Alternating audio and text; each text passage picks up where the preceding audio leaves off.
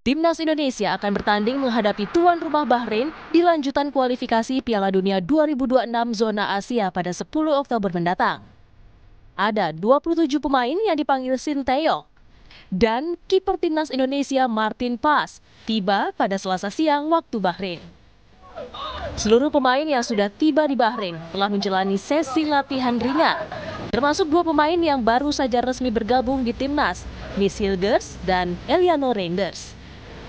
Secara keseluruhan, kondisi para punggawa timnas dalam keadaan bugar.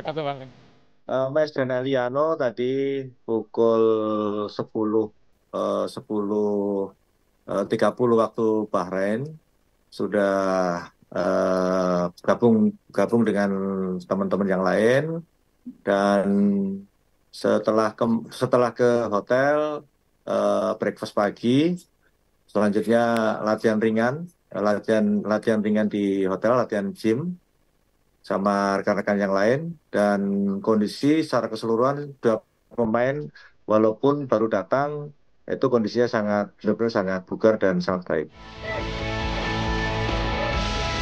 Pertandingan melawan Bahrain menjadi ajang pembuktian bagi timnas untuk menjaga asa lolos ke Piala Dunia 2026. Berada di peringkat keempat klasemen sementara grup C, Indonesia masih berpeluang untuk lolos ke Piala Dunia. Tak hanya dari tanah air, dukungan bagi timnas terus mengalir dari diaspora di berbagai negara, termasuk di Bahrain. Kedatangan penggawa timnas di Bahrain juga disambut supporter. Mereka berharap tim Garuda bisa terus terbang tinggi mengharumkan nama bangsa.